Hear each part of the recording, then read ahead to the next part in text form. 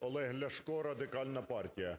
Шановний пане Прем'єр-міністр, при Януковичу олігархи Фірташ і його посібники Льовочкін і Бойко отримали в безплатне користування газорозподільчі мережі, які будувалися за кошти державного бюджету, за кошти селян. Вони ними користуються безплатно, заробляючи мільярди за рахунок українців, які кладуть собі до кишень. Нещодавно намагались запровадити абонплату за газові лічильники, щоб люди знову платили в кишені олігархів.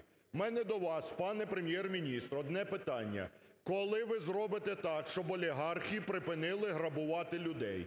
Коли ви скасуєте рішення уряду і повернете в державне управління державні газорозподільчі мережі для того, щоб вони працювали на українців, для того, щоб українців не грабували через космічні тарифи, а гроші йдуть у кишені олігархів внаслідок бездіяльності влади. Я вимагаю від вас…